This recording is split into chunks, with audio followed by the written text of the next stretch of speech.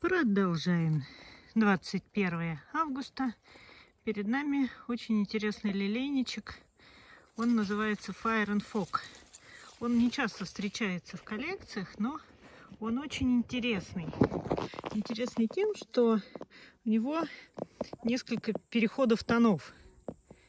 То есть вот здесь вот по краю должен быть совсем светлый, потом розовый, и вот здесь вот, ну, как будто глаз получается такой красный. вот он очень этим вот сейчас я покажу другой цветочек там возможно этот переход будет виден получше. Вот. Видите то есть снаружи светлый потом переходит в розовый потом переходит в красный. И вот получается такая красота. Вот так.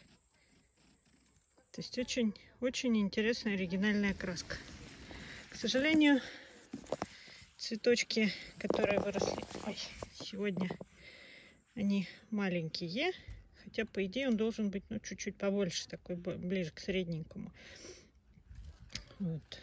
Ну, почему-то на нем маловатенький. Он у меня не очень хорошо цвел. Как-то он цветет так вот прямо от долгов, я бы сказала. То есть он разрастался, разрастался. А цвести никак не хотел. Я его пересадила на дальний план. Думаю, на раз все равно не цветет, пусть там сидит. Хотя бы сорняки не растут. Вот. А в этом году он взялся цвести. В этом году все взялось цвести. И он за компанию. Поэтому есть возможность его продемонстрировать вот такой вот интересный цветок.